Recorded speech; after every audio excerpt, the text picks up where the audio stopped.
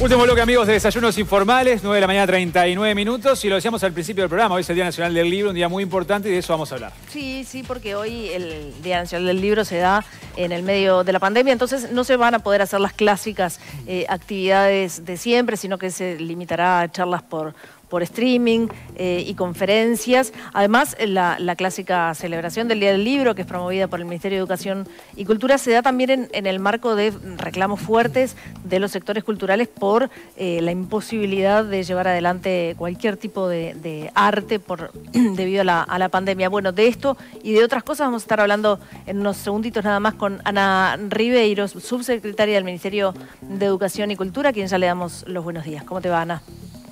Muy bien, buenos días a ustedes. Buen día, bienvenida. Bienvenida. Bueno, y Gracias. en este día, en este día tan especial y que se da en un marco tan distinto al de siempre, ¿cuál es el mensaje que el Ministerio quiere, quiere enviar en el Día del Libro eh, en medio de esta situación?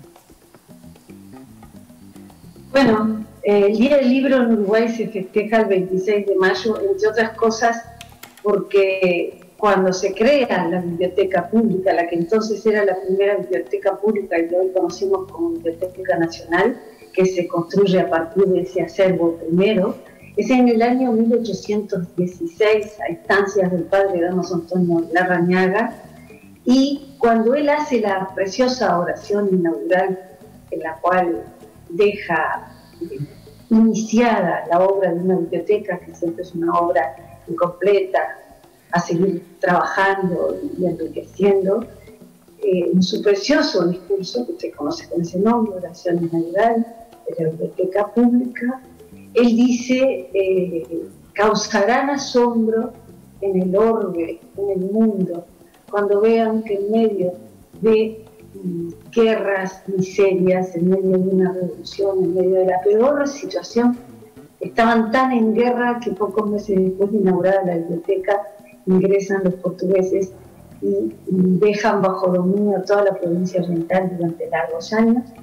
Así que no era una amenaza, era una amenaza concreta que les caería encima en poco tiempo.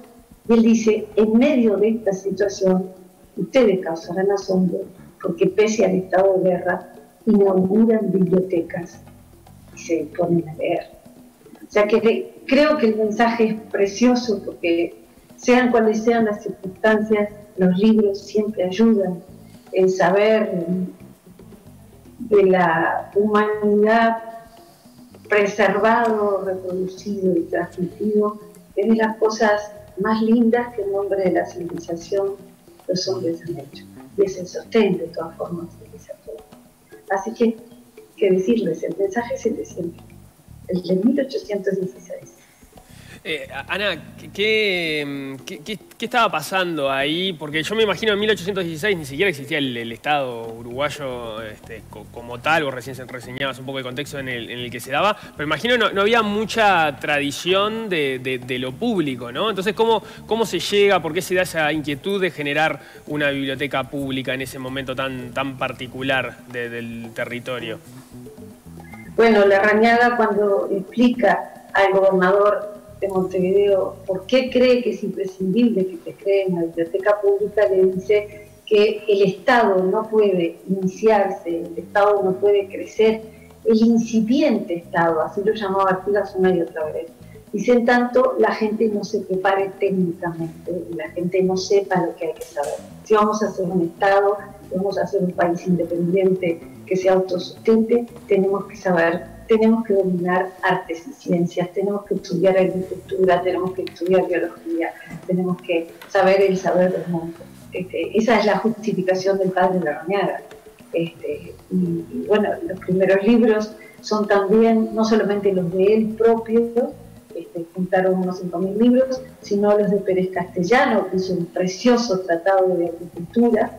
Este, así que, bueno, ese era, el, ese era exactamente el sentido, ¿no? Este, contribuir a poder ser una colectividad rica y fructífera. Los libros contribuyen a eso.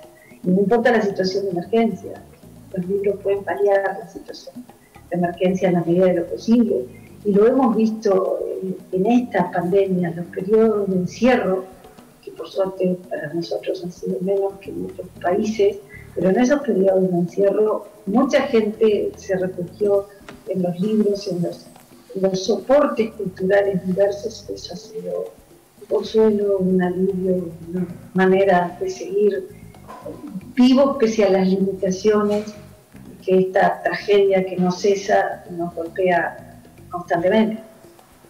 Subsecretaria, eh, ¿cómo, cómo ven eh, eh, ustedes desde el Ministerio, justamente usted mencionaba el tema de la pandemia, cómo ha afectado a, la sociedad y cómo, bueno, siempre es un buen refugio el, libro, ¿no? la lectura, y además las distintas plataformas que hay hoy por hoy para, acceder a libros también, que, quizás antes no eran tan, no, estaban tan no, eran permanentes, no era algo que se utilizaba mucho y ahora sí, este, mucha gente cuenta con, esa posibilidad también. En este año tan particular, lo decía Paula al inicio, donde eh, el sector artístico se ha visto tan golpeado y ha visto muchas manifestaciones eh, de, reclamo para poder ejercer eh, la, expresión artística en, nuestro país. Este, ¿Cómo están viendo ustedes desde, el Ministerio estas situaciones que se están generando, en, el cual obviamente por, las medidas restrictivas de, reducción de la movilidad, por, los protocolos, bueno, se ha visto muy afectado ese sector del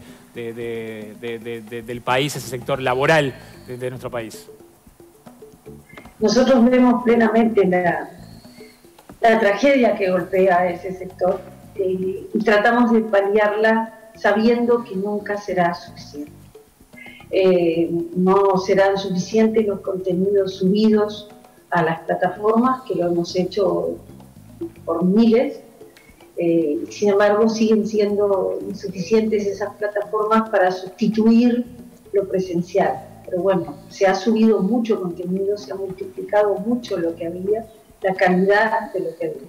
En cuanto a los espectáculos artísticos, a todos nos hacen una falta terrible. A los artistas, porque es su manera de vivir y de expresarse, porque es a la vez arte, pero es una forma de vida y de sustento y a los que concurrimos a los espectáculos porque los precisamos para mejor vivir. Entonces, todos sentimos esa falta. Lo que yo quisiera decir de manera muy rotunda es que la idea que a veces en la queja, que yo la puedo entender, la puedo entender perfectamente, porque sabemos que nada alcanza y nada es suficiente frente a esta situación y que por más que lo intentamos, se han hecho muchísimas cosas, se han creado fondos, se han dado, se han mantenido elencos enteros, estables, con sus sueldos intocados, con el costo que eso le significa al Estado cuando no está como contrapartida ingresando nada. Pero sabemos que todo eso no alcanza, sabemos que la situación aún es difícil. Sabemos que los 60 llamados que hay en la Dirección Nacional de Cultura en este momento con ofertas para cursos, seminarios, talleres, diversos emprendimientos, que es hacer el proyecto y ver cuáles son viables y recibir los apoyos correspondientes, pero sabemos que los apoyos siguen siendo igual insuficientes. Pero lo que yo quiero decir es que pese a todo eso, igual hay quejas y yo las entiendo. Pero pese a que las entiendo, quisiera decir que es absolutamente falsa la idea de que el Estado está presidente y ausente. Eso se ha repetido, yo puedo entender la situación, puedo entender el enojo, puedo entender la queja de los sectores, puedo entender perfectamente, pero transmitir una idea completamente falsa requiere la respuesta negativa y es la que estoy dando en este momento y les agradezco a ustedes la oportunidad para hacerlo. El Estado no está presidente, el Estado no está ausente el gobierno no está ausente ni de los sordos. Ha hecho todos los caminos posibles de ayuda, han sido y son muchos, y sabemos que no es suficiente. Sabemos que la situación es difícil para ellos, como para el sector turismo, como para tanta gente, a veces de sectores que pasan más desapercibidos, este, más dispersos, más pequeños, a todos, económica, social, afectivamente, familiarmente, esta pandemia nos ha tocado, nos sigue tocando, nos sigue golpeando. ¿Quién no tiene este, un conocido enfermo, fallecido, sin trabajo?